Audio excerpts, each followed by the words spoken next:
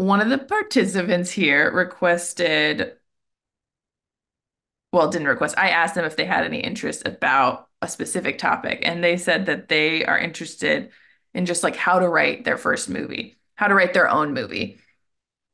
And I love this. It's so exciting. My tips for how to write your own movie would be to first realize that you are a fascinating person. Even if you think your life is boring, even if you're like, I haven't done anything with my life yet, that's not true. You are a unique individual. No one is like you at all. There's a Dolly Parton quote that I love that is, find out who you are and do it on purpose. It's like, to me, the fun of writing your own story, your own movie, is to really lean into like your you-ness. So let me think of some ways that are like practical ways you could do that. Um, you if you have close friends, you can ask like friends of yours, like, what do you think are unique things about me? Or even just like character things, little character things. Something that I do that I didn't realize like pretty much no one else does is that until my like close friend like wrote this in a script we were working on and we were basing a character off of me and a, basing a character off of him. And I was drinking water and like my character in the script was drinking water. And because I drink water like I can't believe I'm doing this on camera. Is so funny.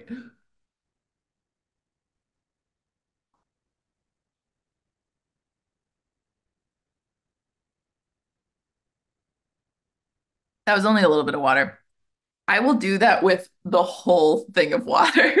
and so what my friend wrote into our script was she drinks a glass of she drinks from a glass of water. It takes a long time. And I read what he wrote and I was like, "Do I really do that? I do do that." And I was like, "You don't do that?" And he was like, "No." It was like it's so funny whenever you drink water and we're in a conversation, I know we're just going to have to take like a 30 second pause cuz you just have to drink water. But the reason I have to drink water like that is because I have ADHD and I forget to drink water. And then I get really dehydrated and then I get stressed and I get a headache. So whenever I drink water, I have to kind of make the most of it. And I'm always kind of busy and bopping around and trying to do a bunch of things. So when I drink water, I'm gonna just drink the whole thing. And but it's like those little beautiful things make a character really come to life. so I want you to like, if you're watching this, I want you to kind of like settle in your body and just like close your eyes and take a deep breath. And really absorb the fact that you are a fascinating person and you are an interesting person. And whether or not a script comes about from this, I think it can be a really fun exercise for you to like just start to notice like what's unique about you. And let's say let's say you're a freshman in high school. I'm trying to think of like unique things I did when I was a freshman in high school. Um, you know, it's just like little things. Things I did when no one was watching. Uh, you know, just like I think something that was kind of interesting about me as a freshman in high school is that I was like very, very bubbly, very like, you know, social, happy, always just like cheering other people on, like hyping other people up and like and um and I kind of dressed very like plainly. but uh like I dress I dressed mostly in clothes from the men's section of Old Navy because they were super comfortable and super affordable. But at night I would go in my room and I wouldn't be so happy and bubbly and like smiley. I would be often very, very sad and and depressed and and for whatever reason, like I felt I couldn't share that with anyone. So I would do it, I would be sad alone. But if I were to write that into a script, it would be interesting. And how I would make that interesting is I would show the contrast between how Linda, the high schooler, is during the day with other people around and then I would write a scene at night where she's alone and maybe like where she walks into her room and like the smile goes away. And we get to see this inner life of this character that we didn't know existed when we saw her out and about during the day. And from there, you can kind of start to ask questions about this character that that is based off of you. But the fun part of if you write a script that is based off of like sorry, if you write a character that is based off of you, like you don't have to keep it like a biopic factual. You can create you can you can expand this person into like just anyone you want them to be, a friend version. You can ask questions and curiosities. You can write fan fiction about your own life. That's kind of when I have the most fun, is when I turn myself into like another character. And maybe no one else knows, but I'm like, it's me. It's just me that I'm writing fan fiction about. But um, but then you start to ask questions like about this high school character kind of version of me. I could ask like, why is she so sad? And maybe it's because she really, really wants to go to prom and she really, really wants to have a date to prom. And um, but she's like so embarrassed that she wants to go because it's not her persona at all. And like, you know, I could have another scene that has contrast where it's like you see her at school and she's all very like bookish and focused on school and grades and like, you know, and wearing just like kind of baggy jeans and like men's sweaters like that are kind of shapeless every day. So we see that. And then maybe we see her at the mall and she goes shopping for prom dresses. And we see that other contrast. And the thing about contrast is it just it makes us curious about this character. We're like, why are they different here than they are here? And we want to know them more. Like curiosity is kind of our way into falling in love with our character because we just like want to know more. We're interested in them. They're interesting. They're not behaving the way we thought they would. Um, so let's say this Linda high school character is um she's trying on prom dresses and maybe she tries on like kind of a plain black dress at first and then she's trying on like more and more kind of out there until she's wearing like this green mermaidy like flowy dress and and it's like kind of and she's like self-conscious and she's wearing it and maybe she like can't fully see it so she sneaks out outside the dressing room to see it in the mirror and maybe she just loves it. And maybe she secretly buys it and she brings it home. And her mom's like, Oh, did you find anything? And maybe like Linda character is like, No. You know, if she like hides it in the car or something. Maybe her mom can't see her because her mom's in the kitchen and she's like, No. And she just like secretly sneaks it upstairs.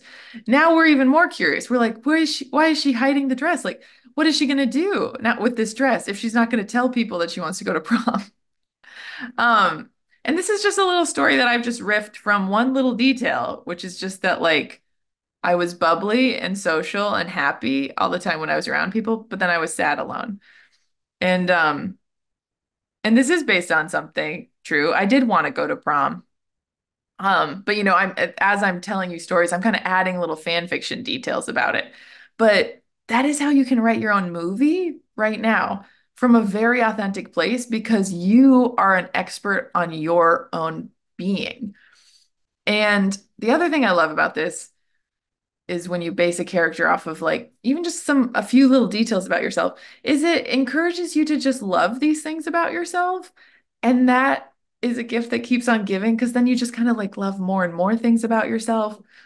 You can you can turn friends of yours into like characters, kind of fan fiction characters. Like it really gives you this kind of empowering sense of like shaping your own world or a version of the world that you don't have control over. But in your world, you can, and you can kind of figure out what your desires are, what your interests are, what kind of story tones you like.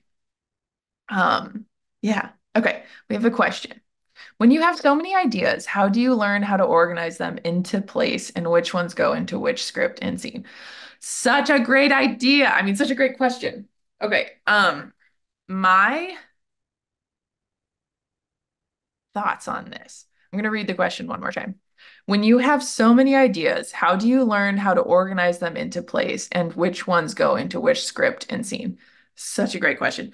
As someone with ADHD and as someone with a lot of ideas that just kind of come like not in any order, that's helpful. I really recommend using note cards. Um, and what I've done during a time when I, let's say, I, I tend to get a lot of ideas like in a short session. Like a short session, like a couple hours, like an hour, 45 minutes. Sometimes I'll just get a flood of ideas. So, how do you catch those ideas? That is a real tricky thing. My advice is like, you just take a pen, and for every idea, you give it a note card, and you just try to keep up with the ideas. And then how you organize them is like once you take a little break, whew, get some water, go to the bathroom, take a break, go for a walk if you want. You come back when you feel a little refreshed, maybe you got a snacky snack. I'm a huge fan of snacks. My writing is always motivated by snacks, pretty much. Um, then you can look at your note cards and you can just kind of start to put them into piles. So this one time I had like all these ideas and I would I was like, "Oh, this is a podcast idea." I was like, "This is a screenwriting class idea." And I was like, "This is an idea for my romance book project that I'm editing." And I was like, "And this is an idea for a new script." And so I had four piles and I just kind of went through them and I was like, this is this. And sometimes there was like, and here's an idea for this project that I worked on five years ago. I'm just gonna put this over here in this own little, its own little like Pluto planet pile where I have the rest of my solar system ideas. And um, and the main thing, the main thing that makes this so actually really easy and helpful and actually quite easy to organize and feel like capable of managing is that um you just got to love the fact that this is how your brain works. It is a gift to have so many ideas. I know it has not always felt like that. I know it has probably felt like a curse to have so many ideas. Um, like you know when i when i have a conversation with someone if i'm even like a little bit caffeinated or a little bit like kind of anxious maybe i'm meeting a new person my i can feel how my brain just like pops around to different ideas. But that's what lights me up is like creating in the moment being creative with storytelling and what i'm talking about and following just passions and interests. Um, and that's what you're doing as you're writing. You're in a fun conversation with yourself where like lots of different ideas are coming lots of different parts of you are contributing ideas. So yeah, that's that's what I would recommend is just no, first of all, just going like I have a brain that creates a lot of ideas in no order. Like and in an order, it will never be in order. And that's okay. Um, and I say like never, that's not true. Sometimes I have gone into flow uh where ideas have come out in order. I'll tell you a little bit. Okay, so here, I'll tell you about that in a second. But basically, when you have so many ideas, um, how you learn to organize them I is use office supplies that fit the the way the ideas are coming out. So if your brain doesn't work like I have an idea for an essay that I just want to write a draft of like right now. Um for that you could use like a piece of paper and just write it out. Um but if you have a lot of different ideas, I, re I recommend note cards. What I love to do is go to the office supply store and just pick out a bunch of stuff that like sparks joy for me. I love writing in permanent markers. I have a bunch of different colors of them.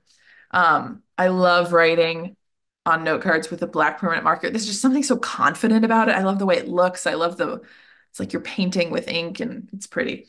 Um, find things that you enjoy doing because like writing just takes time to work on a project, even a little bit at a time over a long time. It's going to add up to a lot of writing. So if you find a pen you really like writing with, a mark you, you really like writing with, that's going to make the whole process more fun. And you'll feel how you're just being kind to yourself throughout it. Like we're we're very we're very loving about all this. And that's how you're going to get your best ideas is if you're loving to yourself and who you really are. Um, love your brain, love the way your brain creates ideas and and don't pressure yourself to this is the main thing. Don't pressure yourself to organize the ideas as they're coming out. Just get them out. Um, Brene Brown, who is a psychologist and researcher speaker that I love, she calls it an SFD, which stands for a, a shitty first draft. Um, and she does that with everything. She's done like super famous talks. She's been on Oprah, like all the things. Um, she always writes like a shitty first draft. Just let it be bad. Let it be bad. Let it be disorganized.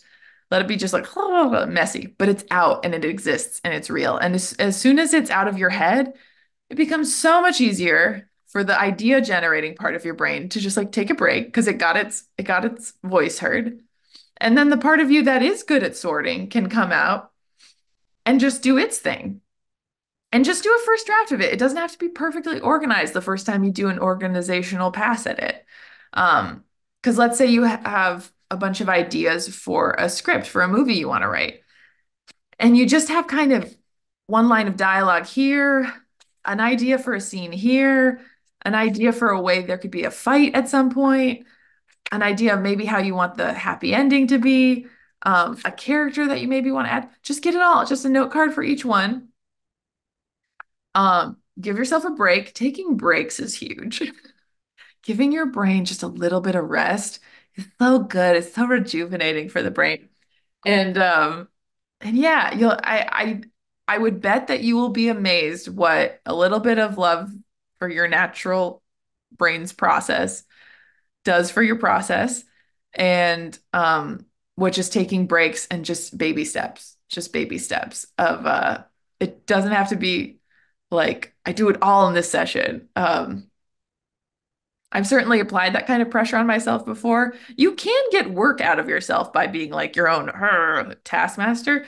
I just I have found that it's never my my best work. It's never the best that I like the most.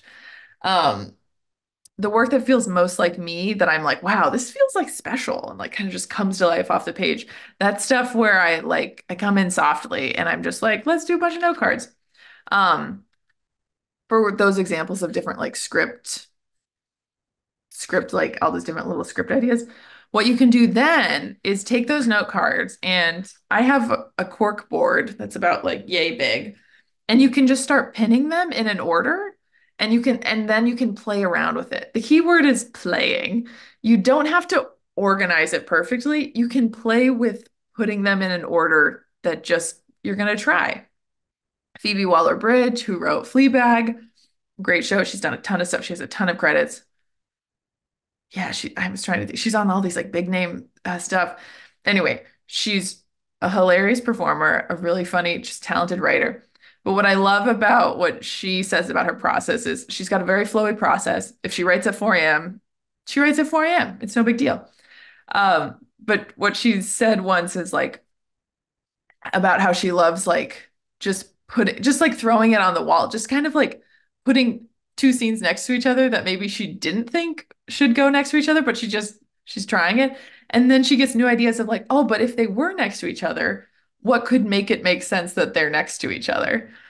Um, and and it can just like that playfulness is so good. She also has a quote about like or about what she says to herself to inspire her own writing and it's something like write like you're not afraid. And I would I would whenever I take that advice, it's great. Whenever I remind myself to take that advice, it's great. But yeah, I would encourage you to do that too. Like, write like you're not afraid. Write down notes like you're not afraid. you're not afraid that they're not going to make sense later. You're just not afraid. You're just going to try it. And why I love to use the word play when I teach is like, just play. Just play with catching the ideas as they come. And then play with putting them in an order. There's no pressure. And the idea of play comes back to like what I was talking at the start of this workshop where like in order to have a writing breakthrough, you need to just like let go of the project. Why that is so valuable is because if and when, probably when, but if you come back to the project, you're going to come back to the project from a place that's like much calmer and lighter and more playful. Like basically the value of completely letting go of a project like a script project is the reality is your brain and your body and your emotional well-being you just probably need a break. You just probably need some rest. And the benefit of giving yourself that rest and and giving yourself permission to never have to come back to the project if you don't want to the value of that is because you probably will come back to this project because you started it for a reason but when you do it's going to be from this place of curiosity and play where this part of you that's not being asked to work, that's not being pressured or bullied to work. You're just playing video games, you're playing Pikmin, you're playing Mario Kart, um, you're playing a board game, you're hanging out with friends, just eating snacks. And you get an idea, and it's going to be like, oh, I wonder what would happen if I put that, like maybe had that character saying it. And maybe I see them in a coffee shop for some reason.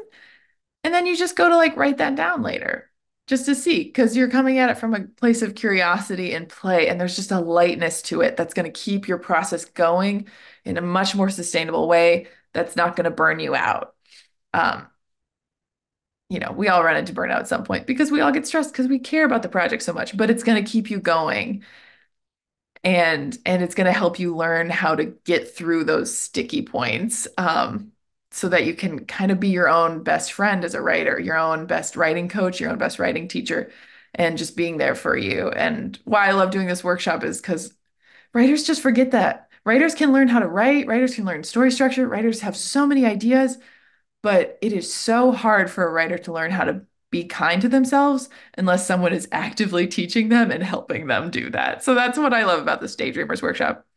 Um, this was so fun. To our attendee who asked such a great question, thank you so much. It was so lovely to have you here. I hope you come back. I hope more of you are here next time. Again, this is every Saturday at 12 p.m. Eastern Time.